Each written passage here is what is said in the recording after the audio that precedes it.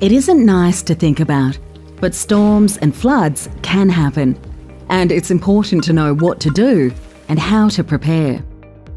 You can find information on how to plan for storms and floods on the Victoria State Emergency website.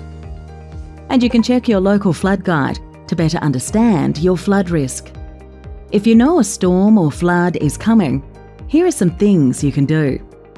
Check your gutters, downpipes, and drains if safe to do so. Make sure they aren't blocked.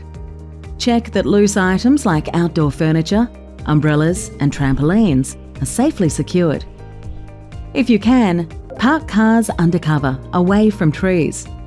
Avoid driving and travel, but if you must drive, be alert to road conditions, low visibility, or fallen and damaged trees and power lines. Never drive on flooded roads.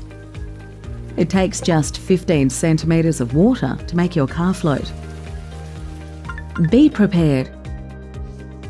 You may lose services including power, water, sewerage, and gas. Have a home emergency kit ready. Get insurance if you haven't already. If your home does get flooded, contact the Victoria State Emergency Service on 132 500. Stay informed. Monitor weather at the Bureau of Meteorology application or website. Download and check for warnings through the Vic Emergency app or monitor on the Vic Emergency website. In the event of a storm or flood, being prepared and knowing what to do can make all the difference.